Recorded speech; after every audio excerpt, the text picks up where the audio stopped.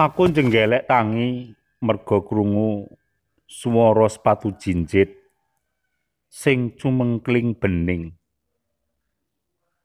Tumapak ana njoben sal papan kumandha ana RSU. Swara sepatu jinjit isih cetha tumapak ana njoben sadawane galeri. Ndak ungak saka jendela ora ketok kemliwere pawongan liwat. Aku gumun. Batinku apa menggok ngiwa menyang ruang piket kono. Aku mapan gletak maneh.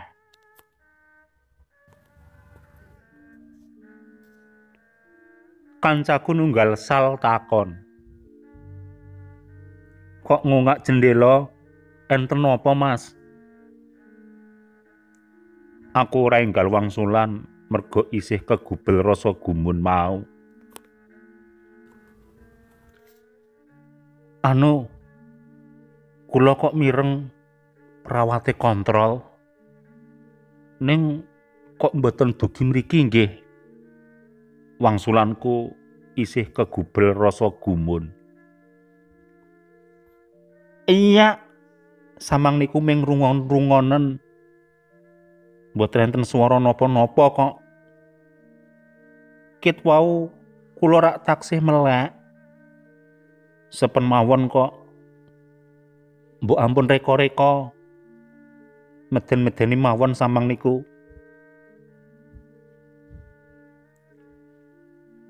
Estu kok, Mas. Kula mboten ngapusi.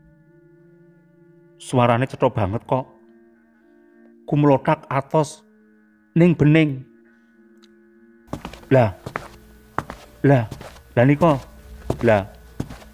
Niku mang rungokke.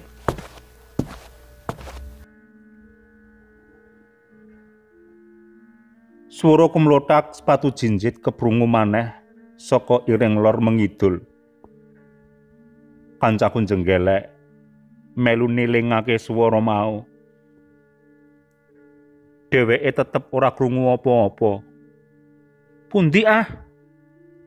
Sepen ngaten kok. Samang mboten mireng to, Dik? Pitakonku saya gumun. Mboten. Niko.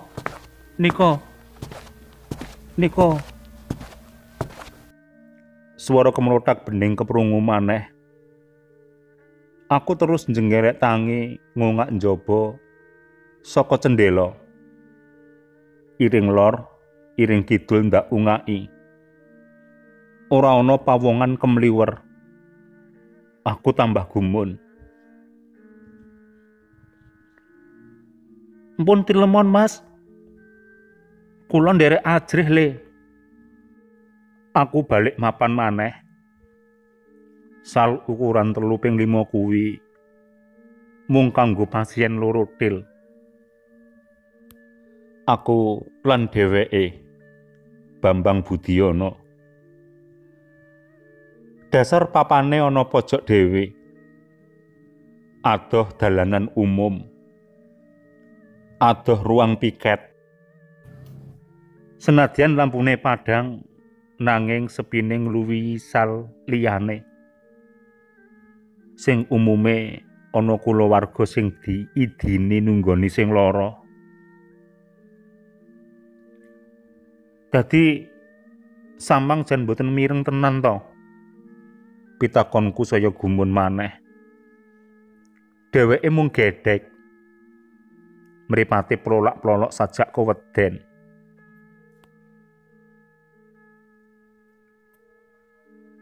Nek perawat kontrol kok mboten dugi mriki nggih?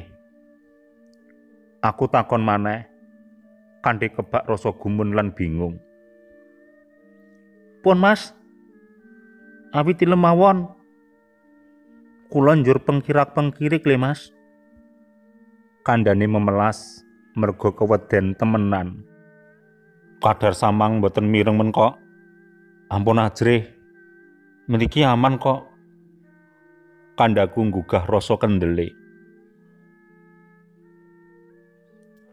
Lakune jam tembok kuwi saya ngelam-lami ati ing wayah bengi. Udakara jam rolasan.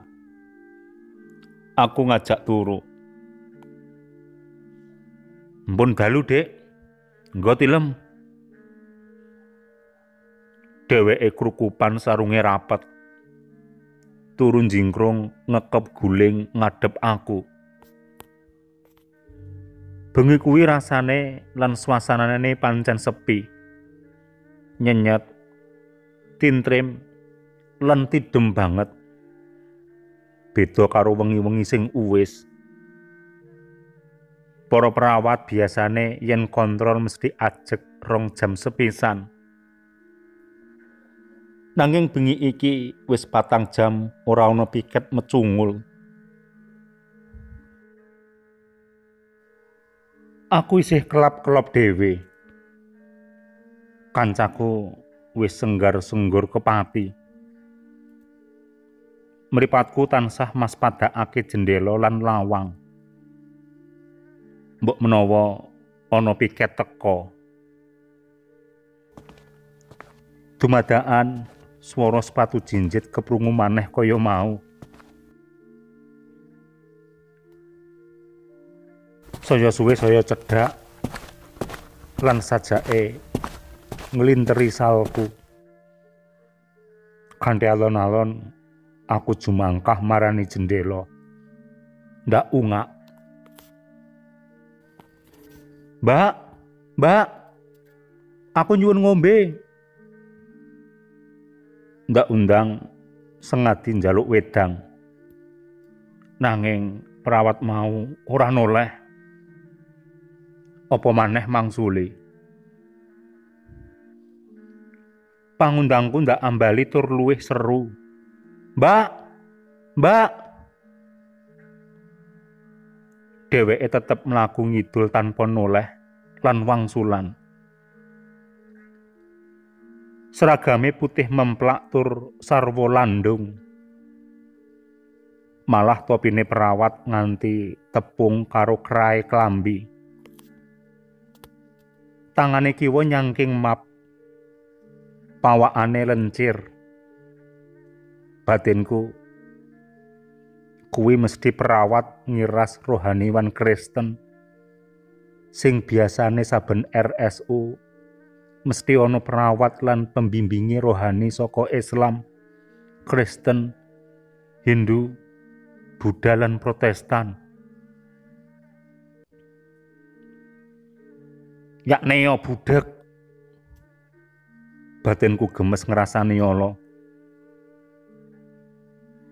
Ora mungkin ngendi karyawan apa pegawai sing cacat fisik, pemeneh perawat, batinku bebantahan dhewe. Esuke nalika ana perawat teko ngeteri sarapan, aku takon. Mbak, mau bengi ndak undang kok ora semaur to? Samang rak piket bengi iki mau to? Pitakonku marang Mbak Ani, perawat sing lenjer ayu. Hmm, Ning aku ora tugas mrene, Dik. Aku tugas ana sel B. Sel D tugase Mas Darto. Jam piro kowe undang-undang? Antarane jam rolasan luwih lho, Mbak. Dheweke ora wangsulan, malah mesem misteri. Aku dadi penasaran. Ngopo kok mesem ngono, Mbak? Kowe ra wedi to? Pitakone saya misterius. Ngopo wedi? Wangsulanku nekat. Senadyan ana rasa wedi sethithik. Sing mbok undang-undang dik bengi iki janjane arwahe Mbak Dewi. Kandhane bloko apa njlomprongake ben aku wedi aku ora ngerti His. Jo meden-medeni, Mbak. Piye genahe? Nek tak kandhakake engko bengi kowe malah ra ditemoni. Saiki kari pilih pengen ketemu apa ora? Tak critani. Apa pengen ra tak critani? Piye? Wedi ra nek temen-temen kowe ditemoni? Ra. Wangsulanku spekulatif. Nek ora ya wis. Engko bengi temonono. Aku tak ra cerita. Mbak Ani miyos karo nyurung kereta konsumsine. Aku lungguh delok-delok ana kursi njaba. Ngiras ngenteni rampunge Dik Bambang oleh siram. Perawat Ani liwat ngarepku maneh. Ndak endek, ndak takoni. Tekane Mbak Dewi, opo ajek pendak jam-jam kuwi? Heeh. Dek iki wis almarhumah. Kuwi roe sing isih gentayangan. Ngendangi kamar mayat RSU kene. Kabeh pegawe, dokter, lan perawat kene wis do ngerti. Ra apa-apa kok. Ra tau ganggu. Ning ra kabeh pasien diweruhi. Kowe bejo Dek diweruhi. Dek lucu. Diweruhi arwah kok bejo. Bejo apane, Mbak?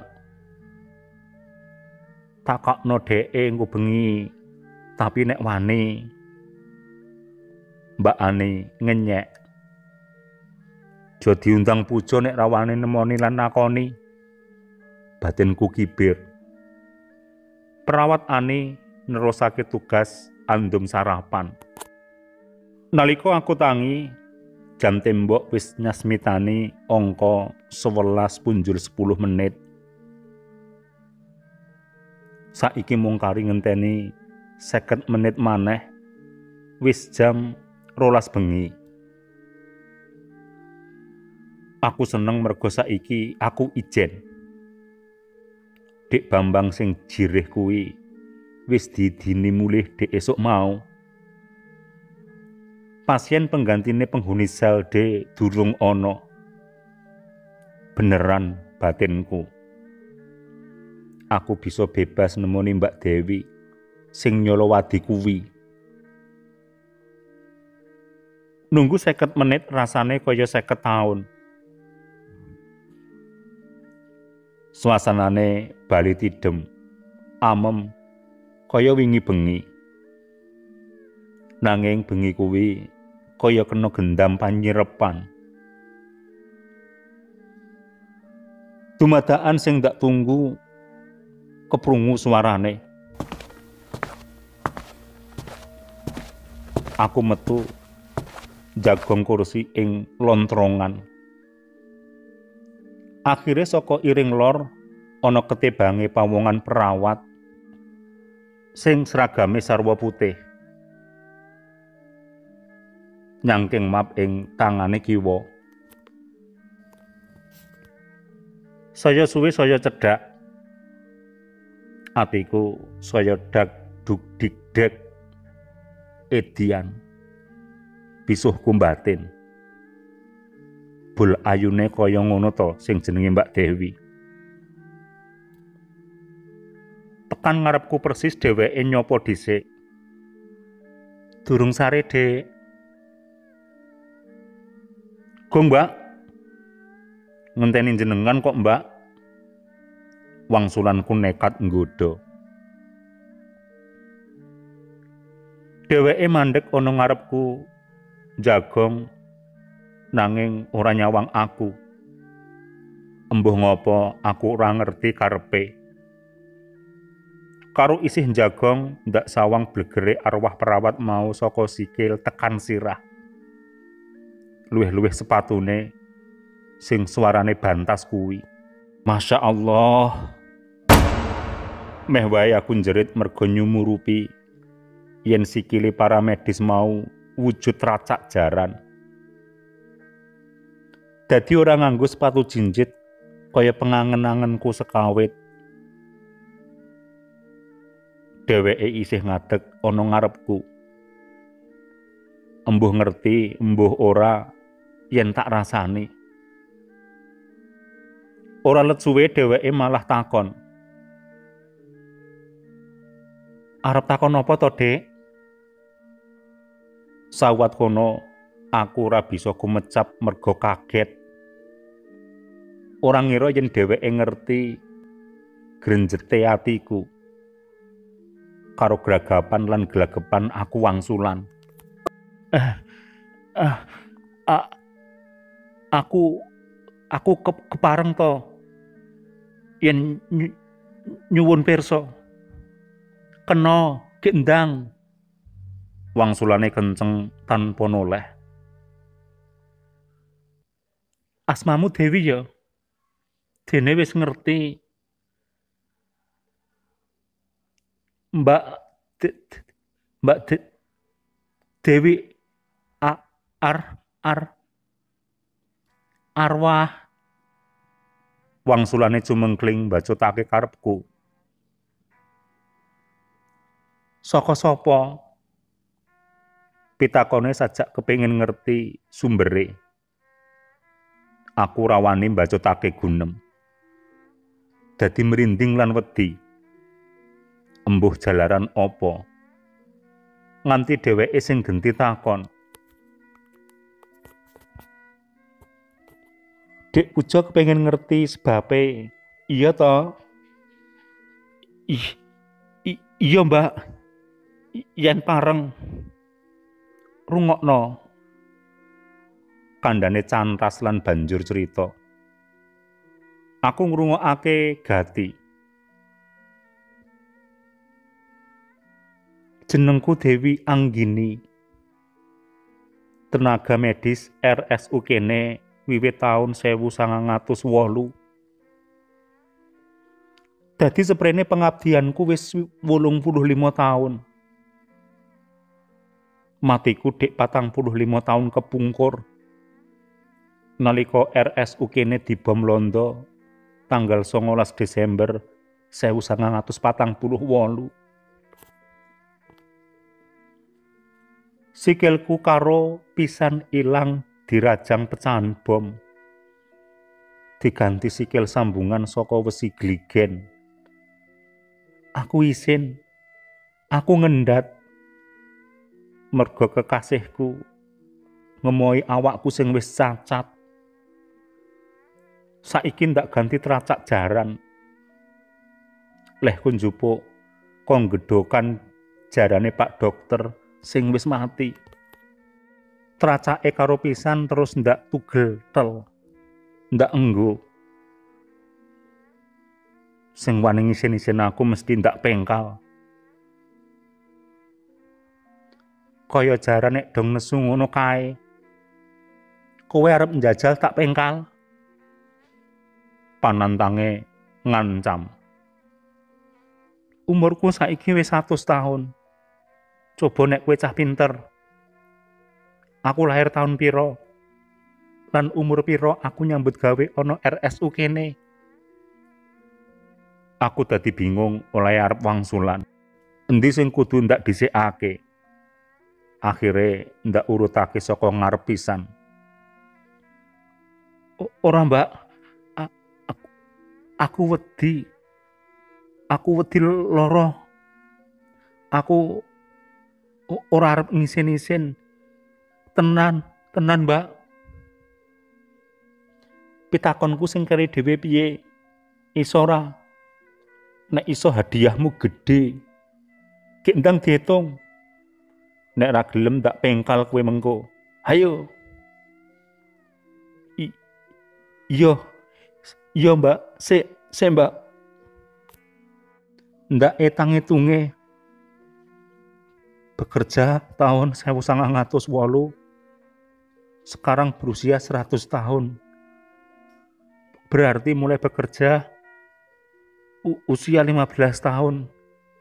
Jadi Mbak De Dewi lahir tahun 1893. I, i, Iya ora. Dumadaan banjur mak duer. Meja ngarepku ambyar dipengkal wani. Waku mencolot mundur. Ngawekani mbok menawa dheweke saya ngamuk mergo kebedhek pitakone. Luwih-luwih kena dayane ayat-ayat suci sing tak waca batin. Nyatane dheweke malah nglungani karo bengingeh kaya jaran birai. Banjur keprungu pambengoke angluh. Agi iki aku ketanggur wong edian. Edan, kowe edan. Arep nyengsarake aku. Swara tracake cetak cetok cetak cetok kaya ngorekake jubin lan sepine wengi. Aku isih istighfar lan tasbih. Banjur ndak akhiri maca Ya ayuhan nafsul mutmainnah irji ila rabbiki radiyatan mardiyah. Cep. Suara cetak-cetok teracak jaran mau ilang. Nanging banjur ana kertas kumleyang ana ngarepku. Ndak jupuk terus ndak iling-ilingi isine. Ora ana apa-apa, kejaba tulisan ora pati cetha wujud angka. Aku enggal-enggal mejet channel iPhone. Mas Darto rawuh. Ana apa, Dek? Gila. Kandaku karo ngulungake kertas mau marang dheweke. Saka sapa? Pitakone kepengin ngerti sumbere. Aku banjur nyeritakake kabeh sing mentas ndak alami iki mau. Bejo, Dek. Alhamdulillah. Iki kode sing bakal metu sesuk sore, Dek. Rawusan. Dreams ya, Dek. Rong dina candake nalika aku siap arep mulih mergo wis dikeparengake dokter dumadaan Masdar lan Mbak Ani sakancane padha ngruduk ana kamarku. Aku gumun lan bingung. Durung ilang gumun lan bingungku, Mas Darto wis nyikep aku karo ngambungi lan kondo. Plus, Dek, plus.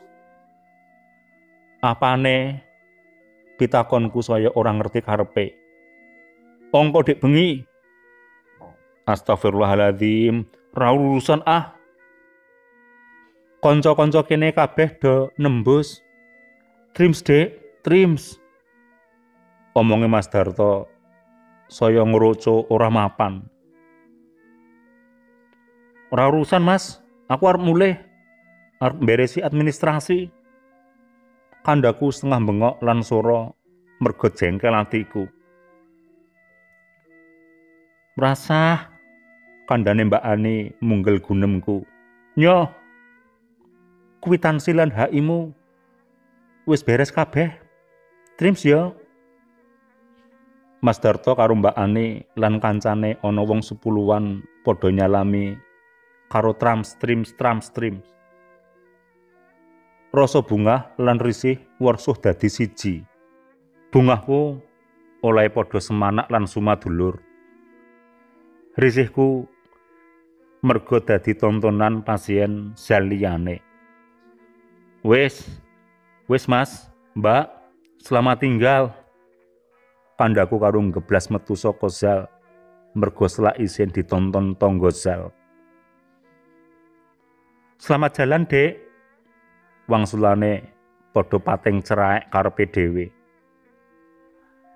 Wong-wong kuwi padha ora ngerti apa sing lagi ndak gagas. Mbok menawa padha ngira yen aku ngetune kertas sing ana kodene kuwi.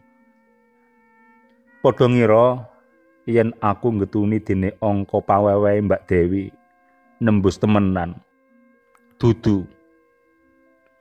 Dudu kuwi sing lagi ndak gagas.